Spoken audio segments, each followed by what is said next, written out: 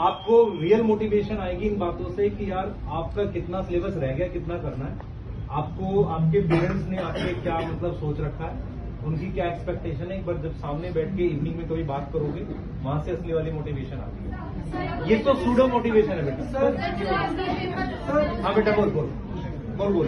Sir मैं PRD medical college के पास करता हूँ। मेरे साथ कई एमबीबीएस वाले भैया लोग पढ़ते हैं नाइनटीन बैच के। बताते हैं, हम लोग बताते हैं, हम लोग ऑनलाइन पढ़ रहे हैं।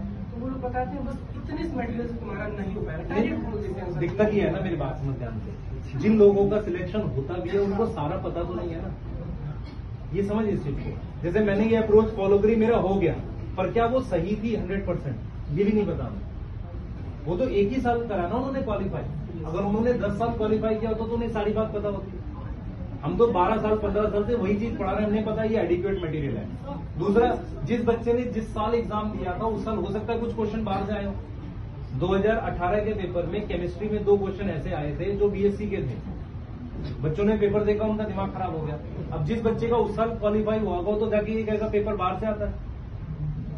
समझ इस बात को। कंप्लीटली मॉड्यूल फॉलो करते नहीं नहीं मॉड्यूल नहीं करना भाई। कोई भी मॉड्यूल तो हंड्रेड परसेंट नहीं है। तुझे एग्जैक्टली क्वेश्चन है आप देख 80 परसेंट क्वेश्चन सारे मॉड्यूल के सेम होते हैं। वो बना लिए तुमने। कोई मॉड्यूल में प्रीवियस ईयर का कोई क्वेश्चन आता है उसको याद कर ले। उससे ज़्यादा मत कर। एनसीआरटी के अराउंड पर